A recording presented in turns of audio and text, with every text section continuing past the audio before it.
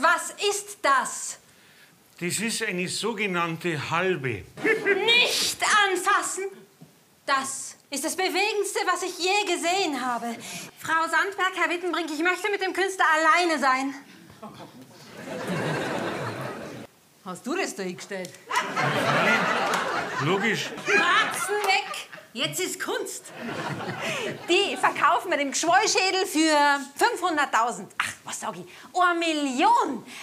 Und du kriegst 50 Prozent. Na bin ich reich, dann kann ich endlich den scheiß Hausmeisterposten kündigen. Ich muss nicht mehr in den scheiß Heizungskeller runter, ich muss nicht mehr die scheiß Aschentonne rausrammen. Du sagst es. Das ist... Das ist mir nicht wert.